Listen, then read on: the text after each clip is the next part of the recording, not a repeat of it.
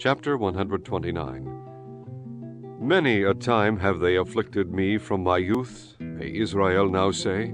Many a time have they afflicted me from my youth, yet they have not prevailed against me.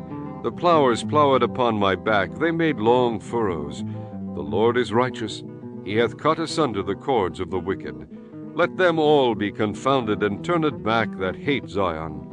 Let them be as the grass upon the housetops, which withereth afore it groweth up wherewith the mower filleth not his hand, nor he that bindeth sheaves his bosom. Neither do they which go by say, The blessing of the Lord be upon you. We bless you in the name of the Lord.